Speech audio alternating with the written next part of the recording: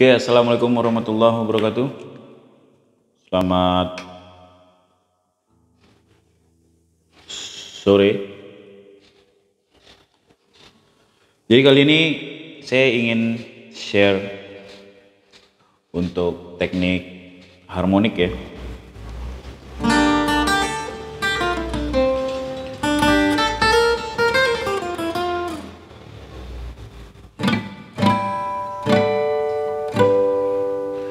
Nah, jadi untuk untuk teknik harmoni sebenarnya sebelumnya juga saya pernah menjelaskan cuman nggak nggak terlalu detail ya.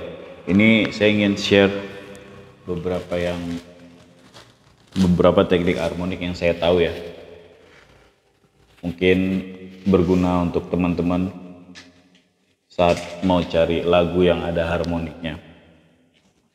Jadi untuk harmonik itu sendiri cara itu sangat kalau kita gunakan pas main gitar kayaknya keren gitu ya. Nah kadang ada uh, untuk saya ini share untuk pemula ya kalau yang udah jago mungkin saya ada salah dalam memberikan penjelasan. Ya mohon maaf karena saya juga manusia biasa. Ya iyalah ya maksudnya karena saya juga belajar otodidak ya.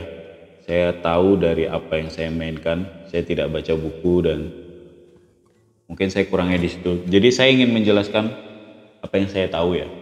Kalau ada yang sekolah musik atau apa yang lebih jago ya mungkin kelasnya bukan di sini ya. Ya untuk harmonik itu sendiri saya coba jelaskan di gitar akustik. Saya tidak tahu kalau di gitar listrik karena saya tidak punya dan saya tidak hampir sudah lama juga nggak bermain gitar listrik. Jadi saya, saya ingin menjelaskan di gitar akustiknya. Untuk gitar akustik sendiri untuk harmonik itu yang bisa dimainkan hanya di di fret ketiga ya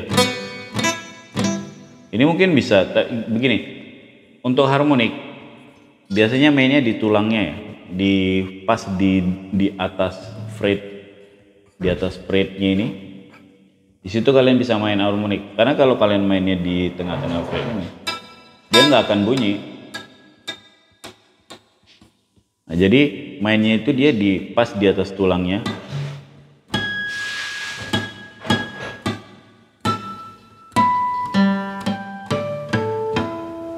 Jadi dia harmonik tuh kalau kalian lihat gak semua menurut saya sih tidak semua kalau mungkin. Kalau kalian bilang alif bata bisa saya nggak ngerti juga ya mainnya gimana. Dia memang udah master ya. Master dari master lah. Kita saya ingin mencoba menjelaskan untuk yang pemula ya yang saya tahu. Jadi harmonik yang saya tahu yang lebih jelas didengar itu di fret kelima ya. Fret lima ya satu dua tiga empat lima. Di sini tapi mainnya pas di tulangnya jadi kalian tidak perlu sentuh kuat tidak perlu kayak mengira-ngira. Atau kayak kayak nggak perlu ngatur-ngatur jaraknya. Kalian sentuh aja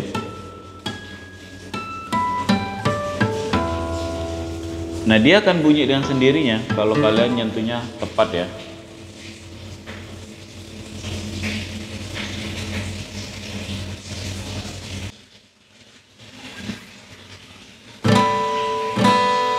nah di fret kelima kalian sentuh aja tapi di atas tulangnya ya Terus di mana lagi?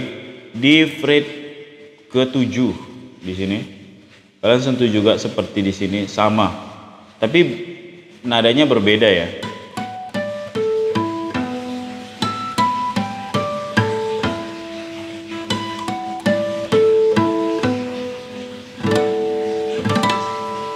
Di dua ini bunyi sangat bagus bunyinya.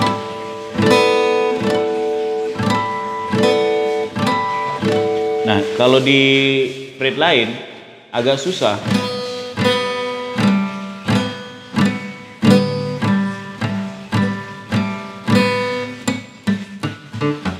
Nah, mungkin yang les gitar atau apa bisa menjelaskannya.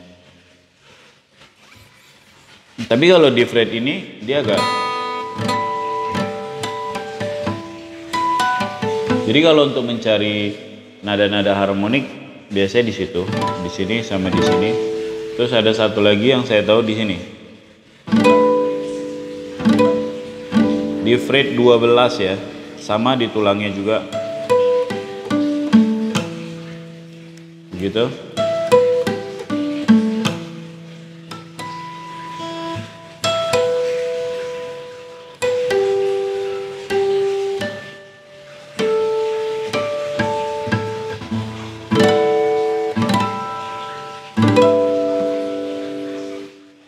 Jadi setahu saya di tiga itu. Nah, untuk kemari bisa.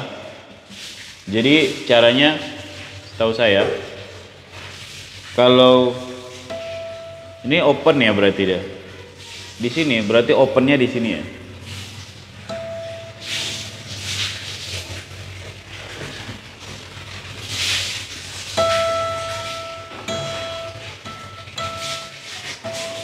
Jadi kalau kalian pencetnya di sini, tekannya di kolom satu, kalian mundur ke semari ya. Ini akan mati. Kalau kalian tekan, dia hidup. Ini yang mati. Jadi kalau maju, mundur lagi.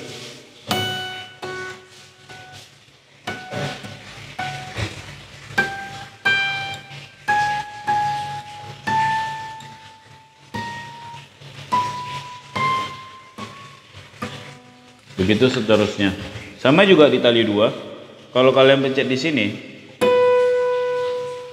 dia akan bunyi karena ini di open ya.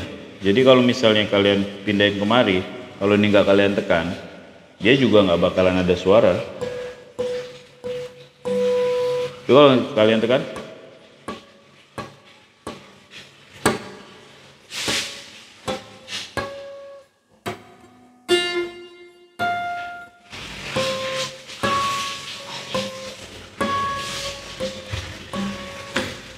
begitu seterusnya.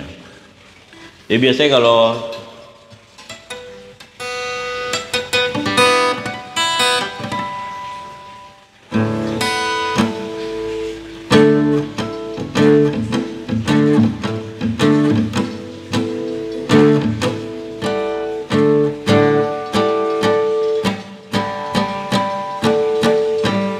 Jadi ingat mainnya di fret 5 fret 7 fret 12 maka bunyinya akan sangat kuat ya